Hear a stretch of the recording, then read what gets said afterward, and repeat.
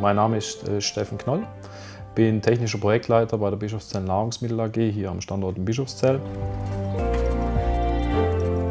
Eine Anfrage diesbezüglich war eben das Thema Umpackzelle, wo ich mit meinem Gugelberger gerade besprochen habe.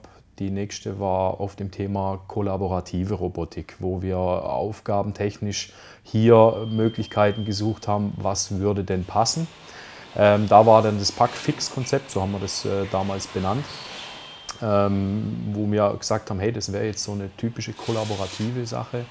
Ähm, spezifisch, also spezifisch war eigentlich dort ähm, das Handling der Bleche für die, die, die Autoklavenwegen, die wir diesbezüglich bestücken oder auch äh, entladen wollen.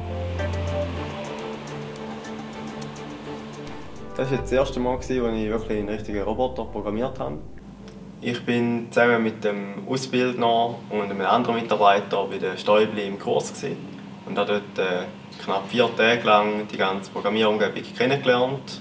Und schlussendlich jetzt äh, an dem Ort, wo wir uns Ziel gesetzt haben, ist wirklich eine sinnvolle Applikation, weil man wirklich einerseits einen Roboter hat, der schnell arbeiten kann und sobald der Mensch aber in einem gewissen Bereich ist, arbeitet der Roboter langsam oder wartet auf den Mensch, dass er eben Vorrang hat.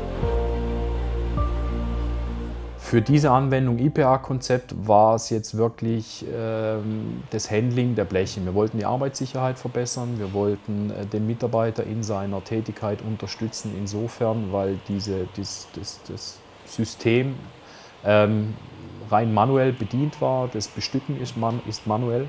Und man muss sich vorstellen, diese Bleche, wo die äh, Produkte dann quasi gepuffert werden und äh, die sind 5 Kilo schwer. Das ist Aluminiumblech. Und durch dieses IPA-Projekt oder Konzept, ähm, Packfix-Konzept, haben wir dann äh, mehr oder weniger mal aufzeigen können, was bedeutet das wirklich. Also jetzt steht da so ein kollaborativer Roboter, ähm, haben den Produktionsmitarbeiter dementsprechend in den ganzen Prozess mit eingebunden. Und zum Schluss hat er dann gesagt, ja, kann, kann ich mir vorstellen, er entlastet mich ähm, und ich denke, das ist der größte Mehrwert. Wir können unsere Arbeitssicherheit verbessern. Und es ist aber wirklich ein Wandel, der stattfinden muss, denke ich zukünftig. Aber ich sehe dort wirklich großes Potenzial drin.